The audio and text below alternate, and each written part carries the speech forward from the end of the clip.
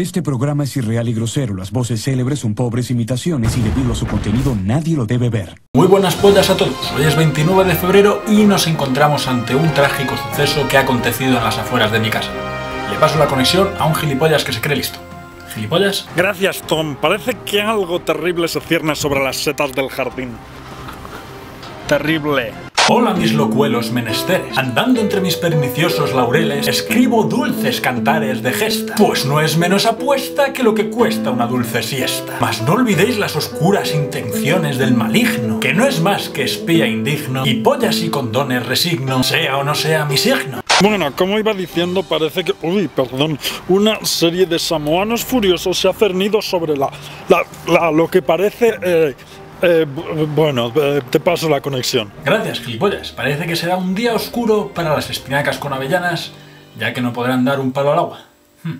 Bueno, ahora los deportes. 27, 28, 29. Hola a todos, soy Tous Carapoyen y esto es Tous Paranoyens.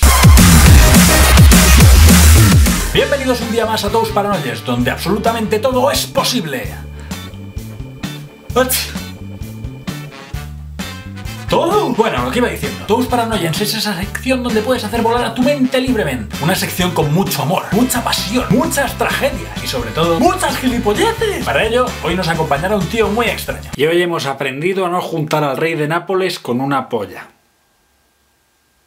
Bueno, hoy la historia tratará sobre mi luna de miel en las Galápagos. Empezamos. Me remonto hace 14 siglos, cuando siete berenjenas amerindias decidieron hacer una plantación de Lamborghinis en las faldas de una supermodelo octogenario con problemas de calabazas. Es decir, que nunca se comió un rosco. De manera literal, nunca había probado una rosquilla en su vida. Mientras tanto, yo era un chaval un tanto absurdo como ahora. Solo que entonces tenía siete piernas. Y you know también dos uñas por nada. Bien, era el día más importante de mi vida, donde iba a hacer el descubrimiento del siglo. Iba a inventar la tostada con una sola cara. Así evitaríamos la ley de Murphy, de que siempre se cayera la tostada por el lado bueno. Bueno, realmente estábamos haciendo lo contrario, porque siempre se caería por el lado bueno, o por el lado malo, según se mire. Bueno, me descentro del tema. El equipo de investigación donde estaba trabajando estaba compuesto por dos dromedarios, cuatro paquetes de cerillas, David Bisbal y un elefante sordomudo vegetariano. Fue entonces cuando conocí a quien sería mi futura esposa. Estaba allí de pie, mirándome desde el final del pasillo. Era la cosa más hermosa y nutritiva que jamás había visto, desde las luciérnagas mutantes de piña colada de la nebulosa del Rastafari borracho. Me acerqué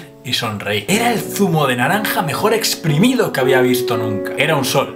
Bueno, zumo sol, más bien. Nos pasábamos las tardes recordando viejos tiempos donde el sicario de los Nuggets atacaba a mis compañeros de la Tierra Media en una dura batalla con pistachos en las llanuras del monte me importa un pito. Todo era perfecto, pero nunca habíamos consumado nuestro amor. Hasta esa noche, todo era perfecto. Una dulce cena con manatíes, velas ardiendo en nuestra cama y cuando todo estaba listo, encontré pulpa en su zumo. Ella intentó explicármelo, hasta me hizo un bonito diagrama energético, pero sus palabras no significaron nada para mí. Lo di todo por perdido y me fui a pinar pelotas a un portaaviones en mitad del río Nil. Nunca más volví a saber de ella. Ahora he conocido a otra chica, se llama Cash. Es mucho más alocada que Sol, pero nunca será tan dulce. Ahora es cuando pienso en toda la gilipollez que os he contado y, e intento pensar qué voy a hacer con mi vida de aquí en adelante. Y eso es todo. Y ya sabéis, siempre hay que aprender algo de todo esto. Nunca bebáis zumo con pulpa, que son unos traidores. Fiaros más de los lácteos y de las bebidas energéticas. Pero bueno, si os ha gustado esta soplapollez, dadle a like, favoritos, suscribíos si no estáis y venga...